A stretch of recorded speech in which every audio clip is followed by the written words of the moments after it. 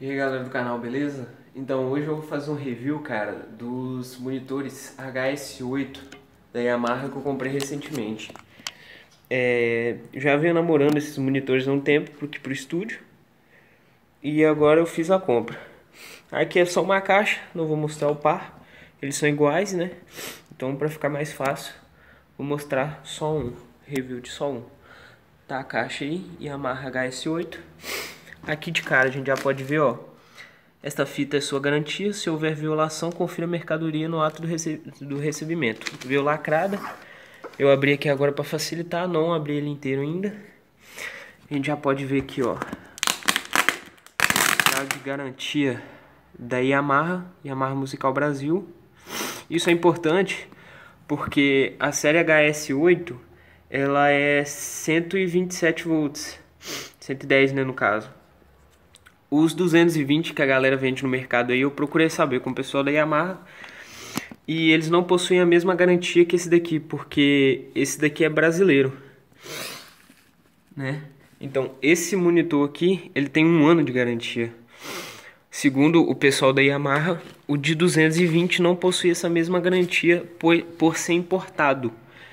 A Yamaha só fabrica o 220 para a Indonésia, segundo eles né? Então, se você for comprar o 220, você vai saber que ele não é brasileiro e, consequentemente, ele não vai ter essa mesma garantia, beleza? Então, vamos abrir a caixa aqui para ver o que, que, tem dentro.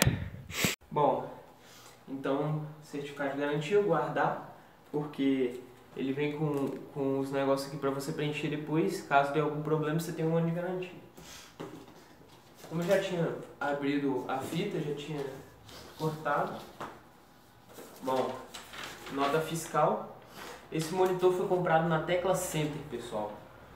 Foi o melhor preço que eu achei no mercado. Pessoal super gente boa, super atencioso. A compra foi feita com sucesso, sem problema algum. Então, para quem estiver procurando comprar instrumento musical, é, produto para estúdio, essas coisas assim, eu recomendo muito a Tecla Center. Eu acho que quando a empresa presta um bom serviço para uma pessoa, acho que é mais que obrigação nossa ajudar quem está querendo também. Então, uma dica aí, a Tecla Center, galera. Vou deixar o link da, da, do site aí embaixo. Bom, aqui em cima a gente tem uma caixinha. É o cabo de força, né? O cabo de força parece ser bem grande. Bem grandezinho. Padrão 3 pinos no Brasil. Foi mal aí, galera. Eu tomei gripado, mas tá indo. 10 amperes, tomar 10 amperes cabo de força e a caixinha. Bom, agora vamos tirar o monitor. É pesado, viu? Bom, aqui é a caixa, não tem mais nada dentro.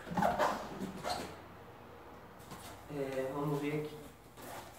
Vira ele. Vem muito bem protegido, viu galera? O bicho vem bem protegido manual, proprietário, com todas as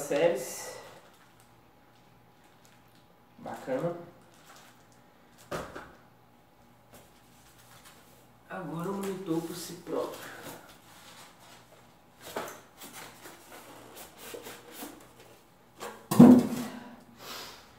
Aí, vou pegar o puffzinho aqui para colocar ali em cima para poder mostrar melhor.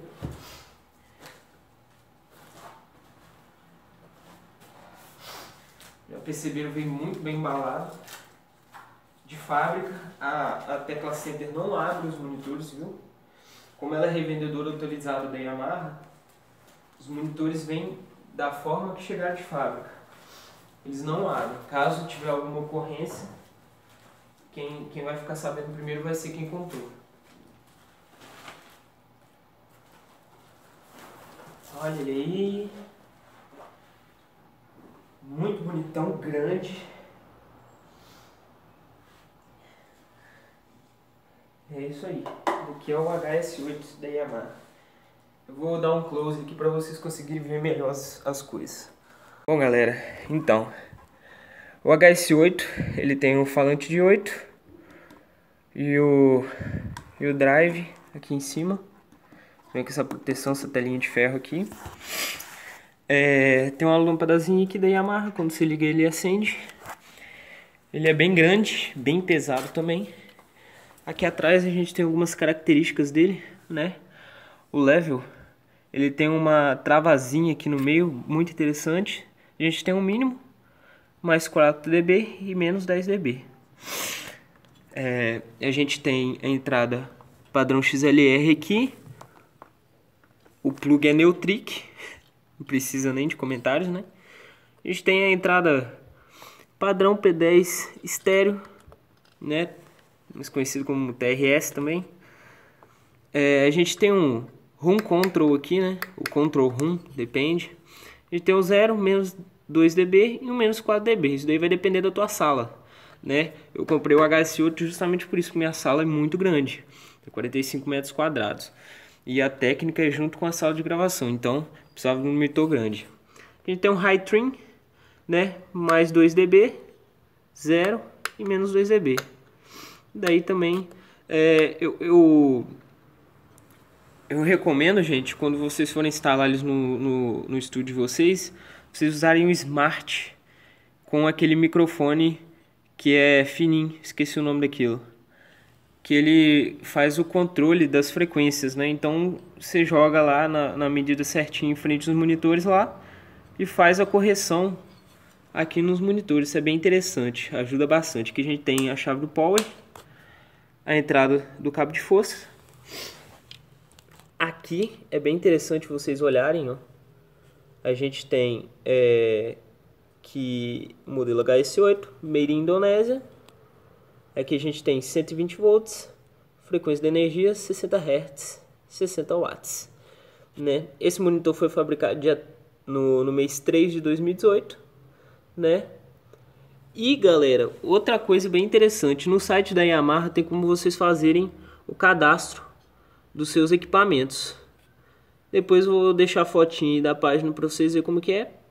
Aqui a gente tem um número de série do, do, do monitor. E aí você vai lá e é, cadastra ele lá. Então, é mais ou menos isso daí mesmo. A única coisa que tem aqui para falar é o dissipador de calor. A saída do, do, do BES aqui atrás. E é isso aí. Agora eu quero ter um papo reto com vocês sobre os monitores, né? Como vocês podem ver, a altíssima qualidade da Yamaha. Por que, que eu escolhi ele? Bom, além da, da sua resposta de frequência, o seu gráfico de resposta de frequência ser quase flat, cara, isso é muito importante. Tem outros motivos que eu gostaria de citar. Ele é um Yamaha, cara. Ele é um Yamaha. Como vocês podem ver, um ano de garantia, é, o suporte da Yamaha é, é sensacional, cara. Então, tipo assim, além do que o produto tem a oferecer, tem o que a marca pode oferecer. Então, isso te deixa confortável, cara. Porque não é uma marca que tá aí de brincadeira. Outra coisa, essa série HS, ela foi baseada no, no foi baseada no NS10. Já é um monitor que é usado em 99% dos estúdios no mundo, né? Então, como aqui no Brasil é praticamente impossível de você achar um NS10 em bom estado para venda, como eu procurei incansavelmente, eu optei por usar os HS, né? Pelo que eu vi a galera falando, é o melhor monitor que você pode comprar até 4 mil reais, entendeu? É o melhor par de monitor que vocês podem ter. Óbvio, existem monitores custo-benefício altíssimo, né? Os KRK, por exemplo, são os monitores bons. Mas, pra mim, eu fui de Yamaha porque essa segurança, cara. Além do cara, quando for gravar no seu estúdio, ele querer saber o que tem para monitorar. Se tem um Yamaha, pô, o cara vai, tem Yamaha no estúdio. Tem outra marca, o cara já fica meio com o pé atrás, assim, tipo, ah, tem um KRK lá. É, né, aquilo, mas é, dá pra ir. É um ótimo monitor. E eu costumo dizer, cara, as coisas mais importantes do seu estúdio é microfone e monitor, né?